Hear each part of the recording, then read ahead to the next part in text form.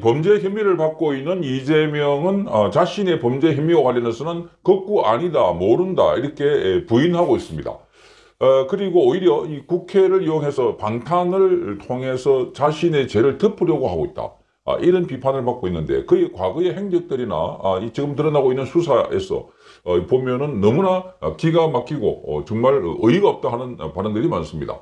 그래서 이재명의 어린 시절부터 그가 살아왔던 어, 과거 어, 그리고 그의 고향 이야기, 뭐 학창 시절 이런 이야기들이 간간히 SNS를 통해서 많이 흘러나오고 있습니다. 그런데 한결같이 대부분 부정적인 거- 어, 겁니다. 이재명은 자신이 어렵게 자라서 그래서 검정고시를 했고 입지전적인 인물이다 이렇게 말하고 있는데 어, 그런데 그런 그 어, 어려움을 극복하는 과정에서 인성이 많이 파괴되지 않았느냐. 그러니까 지금 뭐 이- 자기 주변에 있는 극단적인 선택을 한그 사람에 대해서도 결코 모른다 하거나 어, 거기에 대해서도 아주 냉담한 반응을 보이고 있는 이런 것들을 보고 또 어, 돌아서면 다 다른 사람들이 이, 그, 그렇지 않다고 생각하는데 본인만은 아니다 모른다 아, 이런 것들을 다 유동규나 그 측근들이 다 하나둘씩 이 반대로 증명을 하고 있는 상황이어서 어, 이재명의 어, 이런 처신들의 뿌리는 어디일까 아, 많은 사람들이 궁금해하고 있습니다. 자, 그런 가운데 예, 고향 마을 노인이 말하는 이재명이라는 글이 한때 유행한 적이 있습니다. 이걸 찾아보니까 SNS에 나와서 출처를 찾아보니까 이 블로그에 나온 글인데 2022년도에 아마 이 글이 좀 유행된 것 같습니다. 그러니까 이재명의 선거 대선 때 이, 게 유행된 것 같은데 에, 그런데 지금도 보니까 이 글이 막 유통이 되고 있습니다.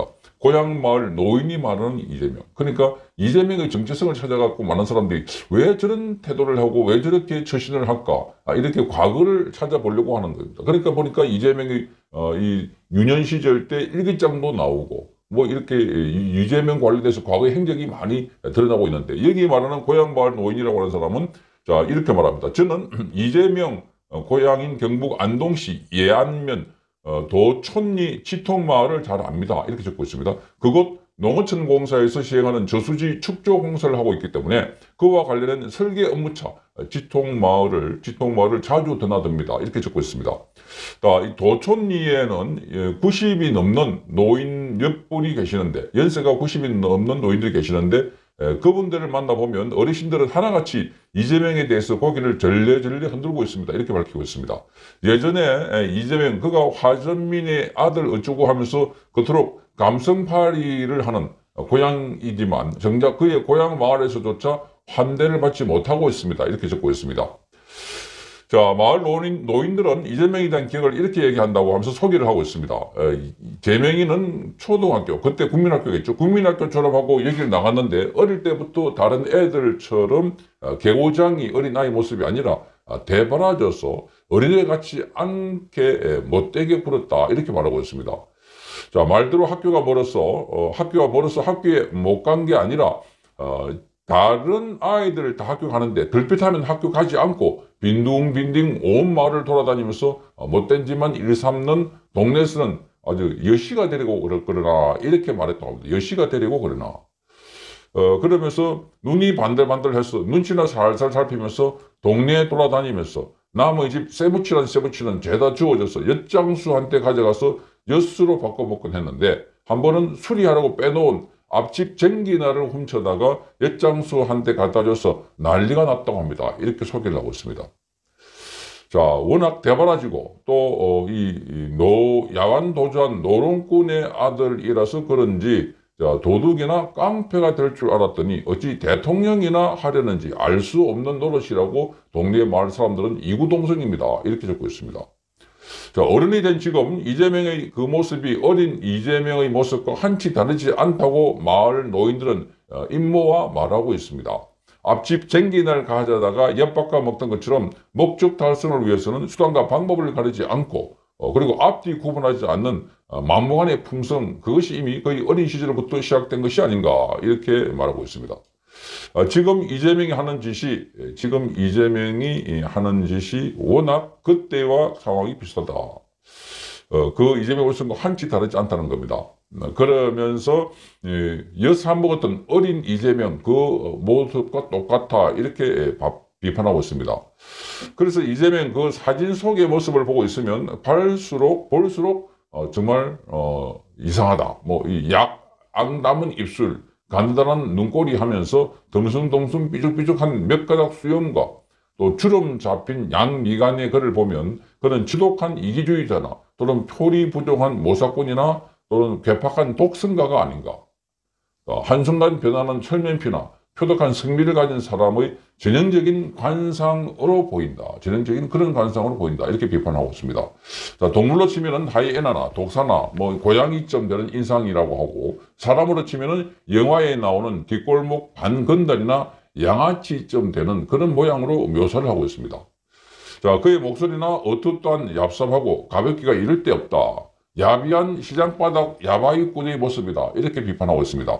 이재명 그는 볼수록 야비하다. 이렇게 말하면서 자, 이런 자가 어찌 감히 대통령식이나 꿈을 꿨는지 자, 이런 자를 어찌 대통령 시키겠다고 쳐다보고 있는지 정말 알 수 없다. 아, 이렇게 글을 올리고 있습니다. 어, 그는 제가 출신이 비슷하다. 비슷한 집안이라서 주변에 뒤지면 어려워 어, 들어온 게 말이 나온다. 어, 그러나 진흙 속에서도 어, 꽃은 피지 않느냐 이렇게 말했다고 합니다. 그래서 큰 형과 관련해서는 큰 형님은 탄광 광부를 하다가 이 탄광이 문을 닫아서 건설 노동을 했는데 그런데 추락 사고를 당해서 왼쪽 다리를 절단했다 이렇게 말했고 아, 이번에는 오른쪽 발목까지 에, 잘랐다고 하면서 며칠 전에 연락이 왔다 이렇게 소개하기도 했습니다. 자 노름하는 아버지 또 어, 여러 가지 흉악 살인범으로 지금 어, 그 감옥에 있는 조카 또 다리를 절단한 형님 또 정신병원에 갔던 또 다른 형, 형. 자, 화장실 청소부를 했다는 여동생. 또 본인이 입에 담지 못할 욕설을 한 형수. 참으로 복잡한 집안이다. 이렇게 설명을 하면서 우리 대한민국이 21세기 지금에도 어, 이런 어, 그 집안 내력을 갖고 있는 사람, 이런 복잡한 집안 출신의 사람을 굳이 대통령으로 뽑아야 할까요? 더구나 그 복잡한 집안 모양을 보면은 아직도 현재 진행형이 아닌가 이렇게 묻고 있습니다. 자, 그러면서 이재명은 봐도 아무리 봐도 아니다. 고향 마을 어르신들이 말하는 어린 이재명을 봐서도 아니다. 그러니까 뭘 훔치고 어, 뭔가 어, 이렇게 학교 가지도 않고 농땡이 치고 어, 이런 것들이 보면은 그때부터 싹이 노랬다 하는 이야기를 지금 하고 있는 것입니다. 그러면서도 어, 이 보고 또 봐도 이재명은 아닌 것 같다. 볼수록 이재명은 아닌 것 같다. 자, 그렇게 하면서 이재명 이야기를 쭉 듣고 있는데, 뭐 주로 이재명에 대한 부정적인 묘사밖에 없는 겁니다. 주로. 그러니까 지금 이재명을 하고 있는 이 행동을 보면 그 어릴 때부터 그런 게 쭉 이어져 오고 있고 그 뿌리가 그때부터 있었다는 겁니다. 그러니까 아, 이재명 이 가계도를 보면 뭐 아버지 이, 또 어머니 화전민 또 뭐 아버지가 이 법대로 졸업했다고 하는데 나중에 보면은 아버지가 아주 힘든 생활을 했다. 아, 그렇게 해서 도대체 아버지의 정체성은 뭔지 예, 가족들은 왜 그렇게 어렵게 살았는지. 그러니까 뭐, 어, 화장실에서, 어, 이, 그 휴지를 팔고 있었다 는 어머니. 또 이런 저런들 보면은 정말 힘들게 살았구나라는 생각이 들어지지만, 그런데 그런 배경이, 그, 그걸 극복하고 나와 가지고 뭔가 새롭게 성화시키려는 일종의 노력을 하지 않고 계속해서 그 바닥에서 나와 가지고 지금 이 이재명의 이 모습을 딱 대비해 보면 어릴 때 모습이나 지금 모습이나 연결이 꽉 되고 있다는 겁니다.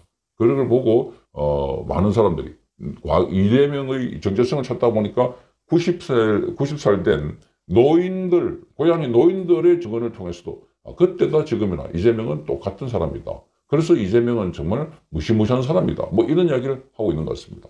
자 이재명 어, 지금쯤 되면 이제 자기의 잘못을 인정을 하고 또 사과도 하고 그래서 어, 죄에 대한 처벌도 받고 이렇게 해야 되는데 끝까지 아니다 모른다 아, 그리고 부인하니까 온갖 어, 이재명의 과거 이야기가 다 튀어나오고 있는데 한결같은 소리는 그래도 이재명은 아니다 하는 반응인 것 같습니다.